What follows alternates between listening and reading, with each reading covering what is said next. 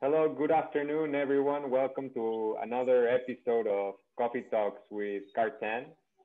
Uh, today we have a guest from Haiti, uh, Neyssa Etienne. She's a former professional tennis player and she's also an Olympian. And she's gonna tell us her story, how she got into tennis and how, how, how was her journey to the Olympics and to playing in Division One university in the US. So welcome, Neyssa. Thank you for being with us today. Yeah, it's my pleasure. Yes, well, as you said, my name is Neyssa Etienne. I was born in Port-au-Prince, Haiti. And I mean, I think I grew up with a tennis racket in my hand as my grandpa. It started my grandpa, you know, taught my aunts and my dad how to play tennis. And I remember I used to dance up to the age of three. And my parents, my family on my dad's side, they opened a tennis academy called Jotak. And it started from there. You know, every afternoon, my mom would go to the club and then I would go with her and that's where my career started. And every day I would go and play tennis with my dad. So my dad was pretty much the one that guided me through, you know, my career into tennis. Um, you know, at the age of I think 11, I went to my first international competition in the DR, and I won that competition. And I think that, you know, it opened the eyes of the ITF. And from there, you know, I was recruited to play a few tournaments internationally and slowly i was i was doing good you know and i started traveling a lot with the itf and at the age of 13 the itf opened a tennis camp in panama and i was selected to to, to go over there so actually at the, the age of 13 i packed up everything and left my family behind and i went to a center in panama and yeah and i think there it allowed me to take my tennis to another level because you know in Haiti there's not many female that played. So I I was allowed to play with the men, so I only played with the boys in Haiti. So which was good for me. So it was a good yeah. change, you know, internationally and going to to Panama and actually playing with girls my age because in Haiti I only played with with you know boys. So that was a nice change and you know through you know me going to school there and playing tennis I started traveling more and more and my rankings started going you know, better and better. And at the age of 16, I was selected, you know, as Haiti being a country from the Caribbean, you know, a small country. I guess, you know, the Olympics, they tried to have, you know, give help to, to, to, to you know, lower level countries. And given my good ranking, yeah. I was able to have a wild card. Yes, mm-hmm. I was able to have a wild card to go to the to the Olympics. And whew, what can I say? I was 16, so I guess it was an amazing experience. I don't, I don't, I don't know what else to, to say. It was just simply amazing. I think I was just amazed the the gravity of what was happening to me, you know, and and it's something I would cherish forever, you know. And I, I mean, I lost first round, but it, it, was still an amazing experience, you know. And oh. then I kept Especially playing. Those games in Sydney, like those games, were one of the best games in the history. Yeah. I would say. yes well that was my only one yeah. but it was just it was spectacular you know and being surrounded by the best athletes in the world you know and it, it, it was just simply amazing you know and my dad came with me as my coach you know so it was super super fun you know to be part of that you know and well you know again you know you have to go back and keep playing and i played professionally well I, when I finished my career in the juniors, of course, I transitioned to the professional circuit. Um, I played a few tournaments. It, it, was going well, but you know, Haiti being a poor country, I didn't have a lot of financial help. So we decided to go. I decided, well, you know, me and my family, we decided, you know, it would be best to just go to college, and which I did. It was amazing. I had, you know, it was an, an amazing time. And then once I was How done, I came back home how just uh, uh, uh, just a note there like you you went to you, you went to the um, the Olympics you were 16 and mm-hmm. then you got recruited to go to University of South, South Florida and mm-hmm. uh, how did you get you get recruited through like a tournament how, how, how was that process you, you went to high school well, in Florida no as well yes I, I went to high school in Florida I graduated in Florida um Well, I have to say, I, I was being recruited by UF, a few few universities when I went to the circuit, professional circuit. But I wasn't really interested in college at that time. I wanted to give it a try professionally. And you know, it was so expensive and not having the help financially. Then I decided to go to college and I reached out to a few colleges. And I must say, because of my, you know, my results and my ranking, um, they were very open to hearing from me and very open to ha- you know having me in their team. But I ended up choosing USF because Gigi Fernandez was the coach there at the time, and you know she was an amazing professional player. Um, so and it was in Florida, you know, close to home, not in Miami because I was already in Miami. I wanted to be a little bit away from you know what I was familiar with.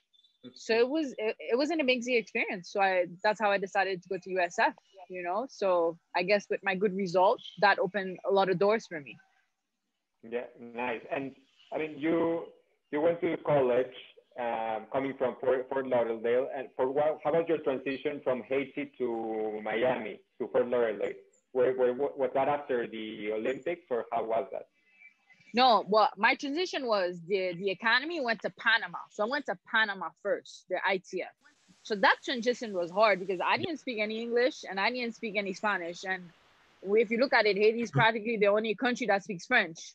So that was a that was a tough one, you know. And there was a lycée français there because I was at lycée français in Haiti, but my mom was like, you know, French, you're the only French speaking, you're young. I want you to go to the American school with all the other kids. So it was just uh how can I how's, say? How's your how's your your español? Because we have a lot of Spanish uh, clients sí, in Pakistan.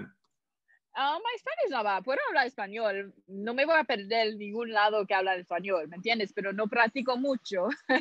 No, perfecto. Pero sí hablo. You sound like a bit uh, Dominican, Puerto Rican. You have yeah. good Spanish. Yeah, nice. Good. Well, I have, I have to thank my coach for that because one day in Panama, I remember him saying to me, listen, I'm not talking to you in English. I don't know French. I'm only speaking to you in Spanish. Whether you understand or not, that's your problem. and that forced me into learning. So I had the English at school, plus the English speaking, you know, tennis players and the Spanish. So for me, it was great because I didn't speak neither language, so I mingle with all with everyone. You know, I wasn't put in a corner, so it was great. And now today, I speak you know Spanish, English, so you know eh, I'm happy for that now. You know, but I think that transition was probably the toughest because I was only 13. I went to a new country that I didn't know. You know, with yeah. kids, you know, no coaches I didn't know, no yeah. language, but it was a great experience. And then the economy itself moved to Florida. So that transition was a little bit easier because I was I was already familiar with Florida, especially Miami. Well, we went to, I'm not mistaken, where was it? It was Pompano. Went to Pompano, which was it was fine for me near Miami. You know, I, I, as a young kid, I used to go to Miami on vacation, and I have family members that live there. So that transition was maybe smoother than Panama, you know. But by then, I was already I, I had already lived in a year and a half away from home so you know i got used to it you know so it was fine yeah. No, and it was it was good because then because of that move of the academy to the US, that kind of like gave you the idea to to go to college as well, and that that's easy for colleges to recruit in the US, not recruiting in Panama or in Haiti, which I think that's exactly. That, that's key.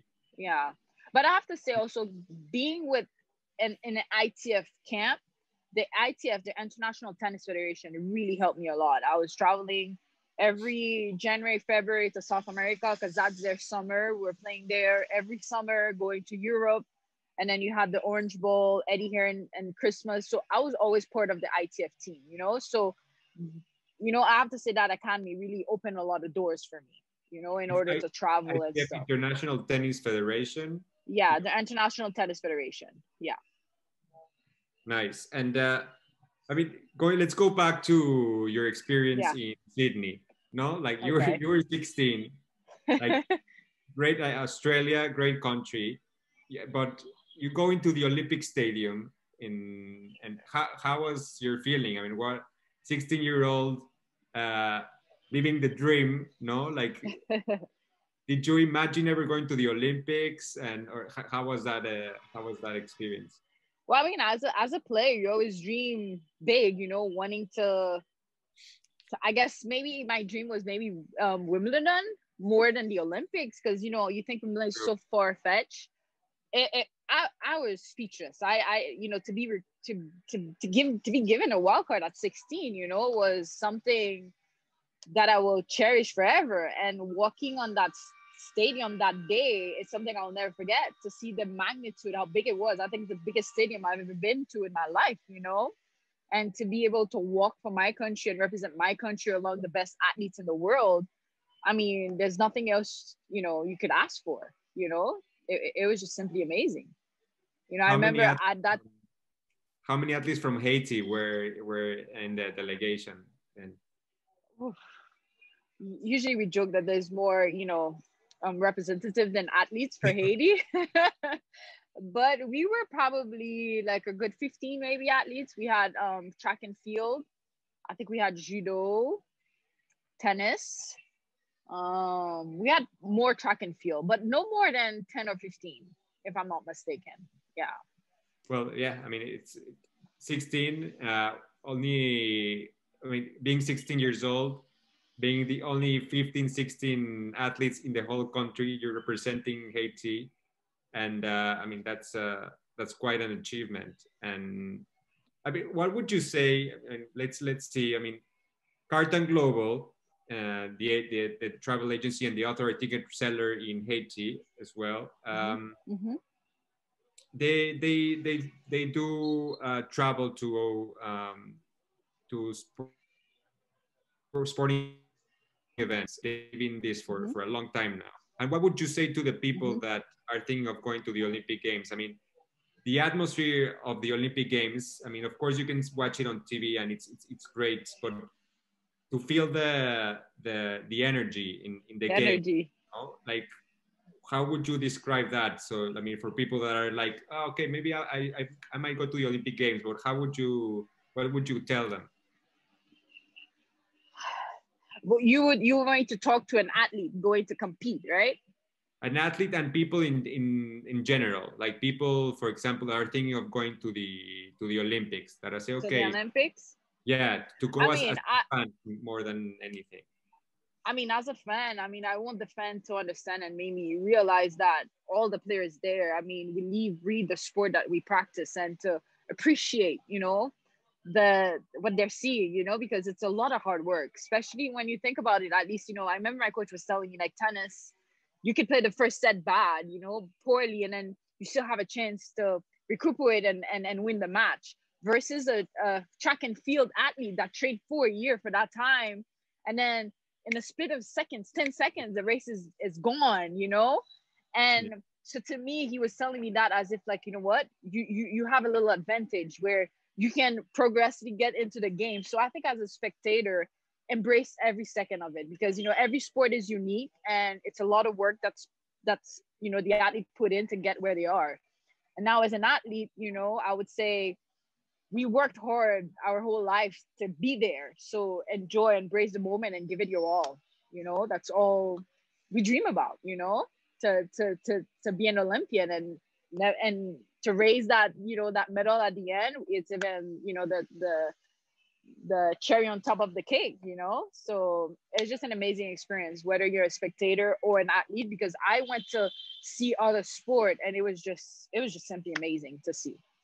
And just like the competition, let's let's put the competition on, on one and the the atmosphere on the other side as well, like the international interaction, your experience in the Olympic Village with all these athletes, staying, staying there like how was that? I mean, did you meet people from all over the world? And like you see you see you you hear like all different languages in in a just in the dining hall like it's it's crazy no? I mean to me the the most like the memory i actually have the bag in my in my it's in my closet. You know those little pins? They, it was my thing. Every day when i could when i was in a village to go and meet new players and exchange those those yeah. those pins with the athletes. And i have a bag full of them so to me, this was my that was the my that was it, you know, and especially Haiti being a small country. So Haiti, we didn't have many, you know, pins versus the US. You find US everywhere. So it was even like to them, they were intrigued and interested in my country because a lot of them are like, "Where's Haiti? Where's it from?" So that created a you know a, a, a vibe, I, if you would say, you know, to talk to other people and tell them about our country, our culture, and exchange. And I have a piece of memory that's with me, you know, but I'm 37 now and it's still with me. And I still look at them, you know, and I, will never forget that time. No, people probably everywhere wanted the Haiti pin, you know, because oh, this is so hard to get. Uh-huh. Yes.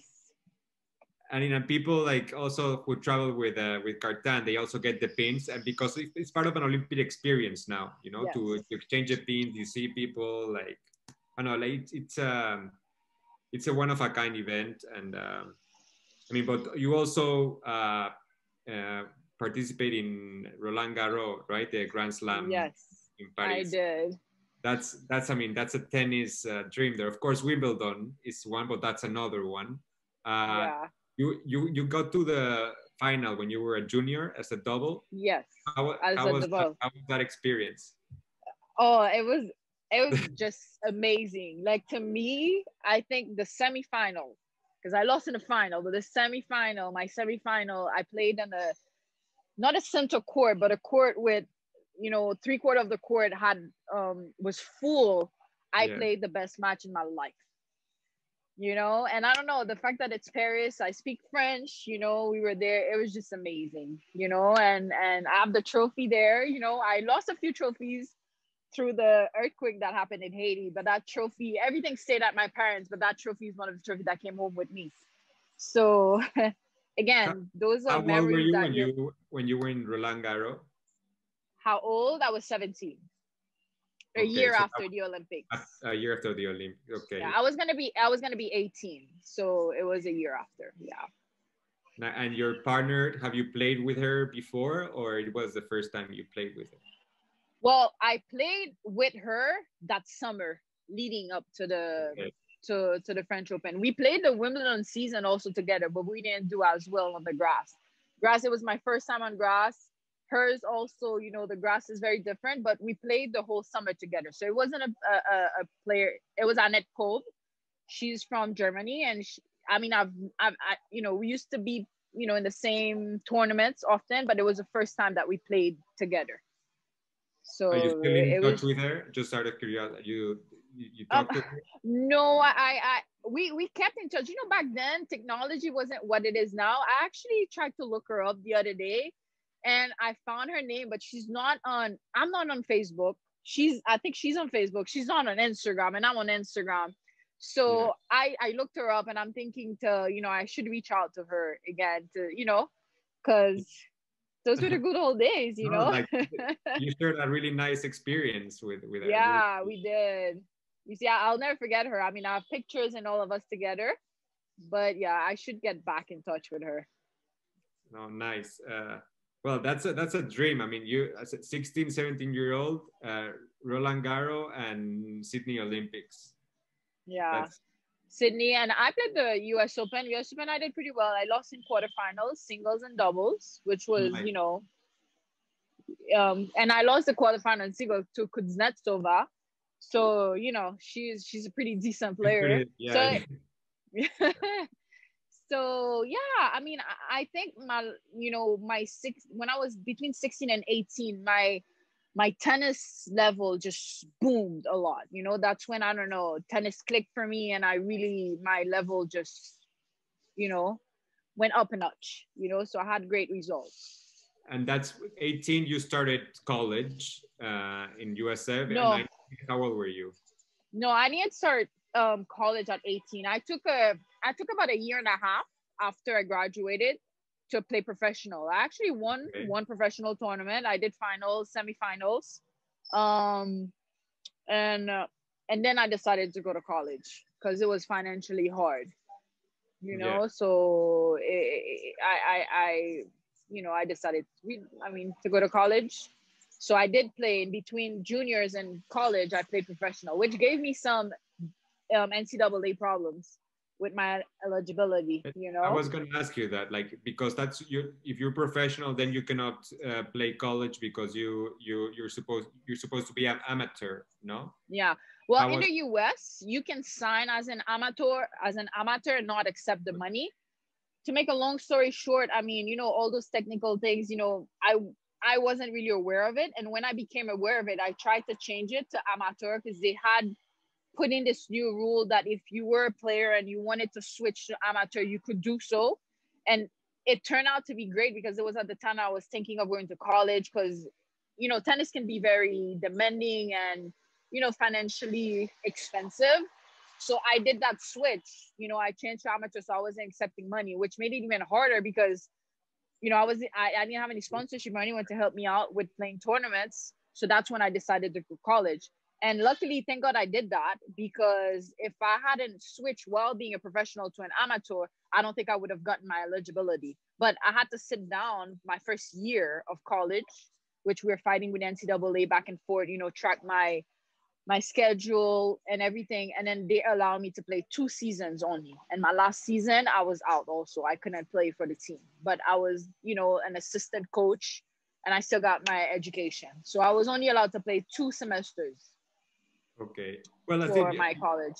but you got to compete at NCAA D1 level, and Yes. and then and then you compete. graduated from university. And did you did you want to go back to being professional at the time, or do you when what was your mindset at that, at that time?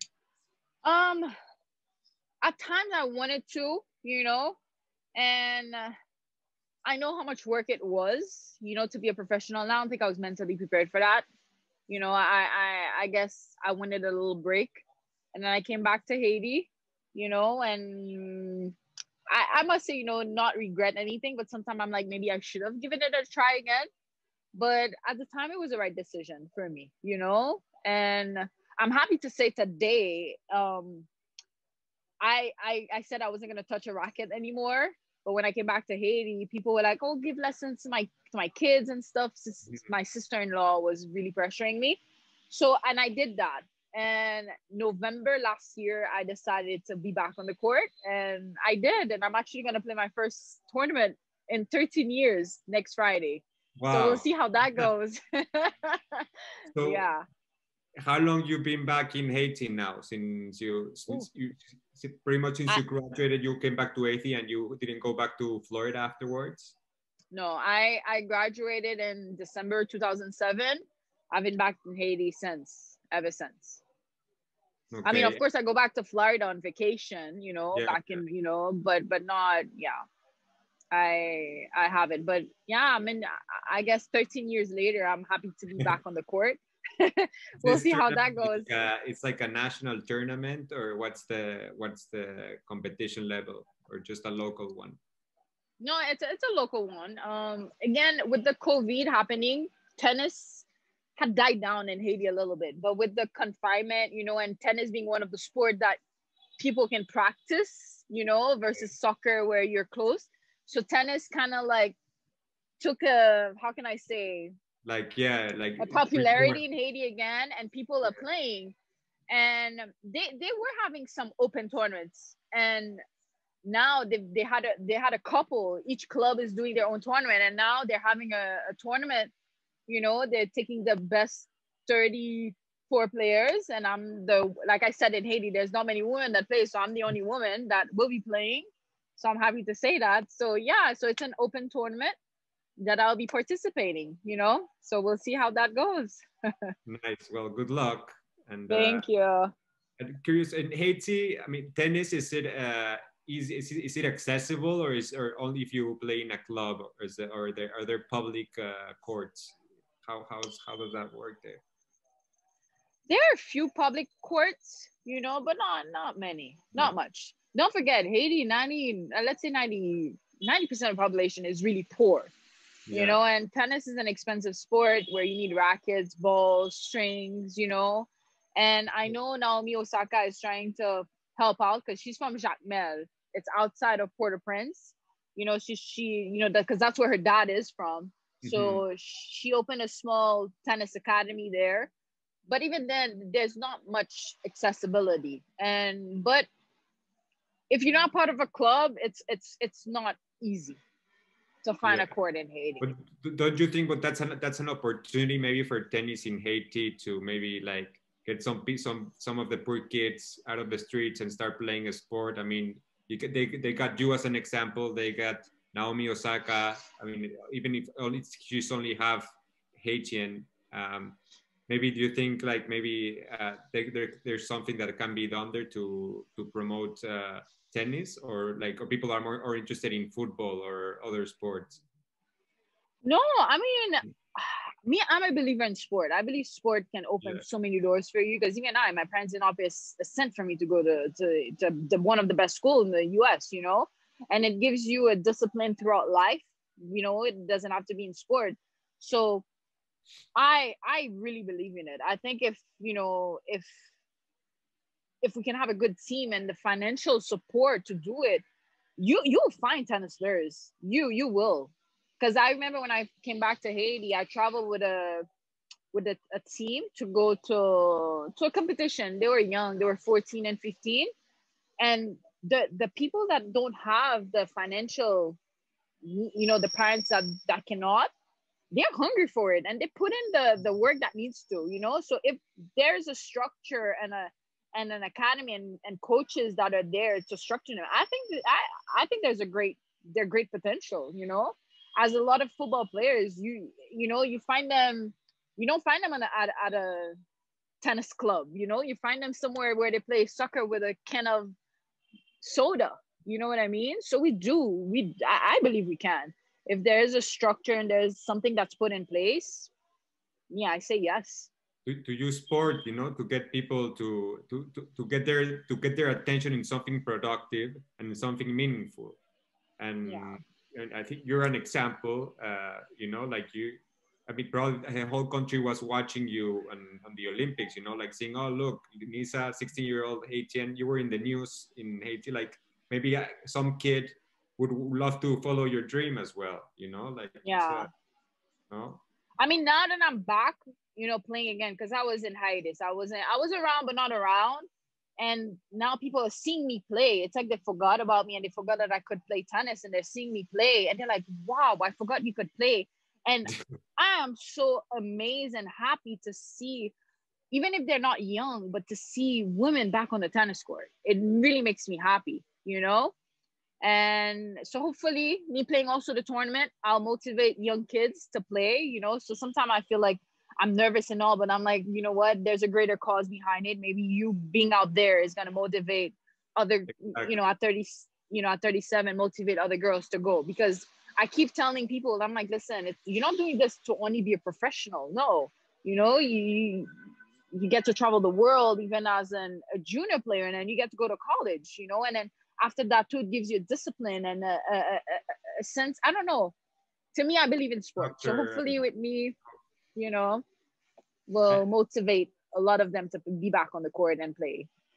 Maybe this uh, pandemic now, it's now you like you you're like reborn into like the tennis was reborn in Haiti. Now maybe it's a you can reopen like a tennis academy for for so for for the kids or something like that. Yeah, well, I'm back. I'm giving lessons. You know, I, I I tend to to give more lessons to women, and there's a man that told me the other day, he goes, "You only give lessons to women." I'm like, no, but it's turned out to be this way right now, you know? so so hopefully, yes. There's someone that told me, say you're creating a movement right now. But you know, me being on the court, I don't like the politics behind it. I'm just going and playing. But I guess with me playing and seeing me play, it's motivating a lot of players to play, especially women. And I'm happy to they, to they, see that. They, will remember, you know, like you're a tennis player in the Olympics Oh, yeah. No, I mean they they remember, they know, but I don't think they saw me play because I was still young and my matches wasn't really televised. So you have a handful of players that know me. And the number one in Haiti right now, he's well known because he never stopped playing. And we grew up together. And they talk to him. So he talks to me and he's like, You're creating a movement right now. So hopefully I'm I'm as long as I'm pushing people for the better and play tennis, that's all I can ask for, you know? No, you just answered the next question that I was gonna ask you. So like, what's what's your like your mission statement now, or like a motto, or like something that you like to to say to to to athletes or like young that uh, that are like looking to pursue their dream of of uh, being uh, you know to follow the, the, the dream of like choose a sport and and and stick to it. Now you said, okay, I'm I'm I'm so I'm trying to motivate these people to to to, to get tennis and pick it up. So uh, yeah, that's nice. Yeah, yeah. No, it is. It's it's it's it's amazing. Just like this morning, I have this this girl. She's I used to go to school with her, and she's been playing with me for two three years, and she never want to play matches, never. And I wasn't pushing her, but right now she's into playing and stuff, and then it's so fun. All of them now because I did a clinic. I, she's been here for two, three years. And then one day she goes, Neyssa, let's do a clinic with two other girls. And now I'm coaching the two other girls, but they're constantly writing and asking, hey, I played a match. I did this. I did this wrong. I don't know. To me, it's fun. And, and I'm really happy that I'm motivating them to be on the court. So, you know, that's yeah. that's all I can ask for right now. Said it, it's beyond oneself, you know. Like I'm doing it more to to motivate other people, and I think that's that's the message. And yeah, nice. exactly. Yeah. Well, Neyssa, thank you. I mean, I wish we can talk for longer. The, the coffee talk is for half an hour, but thank you very much for. Oh, thank you. and, it was a uh, pleasure. Uh, this is a unique story, you know that uh, you know this all these stories that don't get don't get told. And uh, thank you, Neyssa, for taking the time to share it. And uh, well, uh, thank you all for tuning in. And we will see you next week for the next coffee talk. Thank you.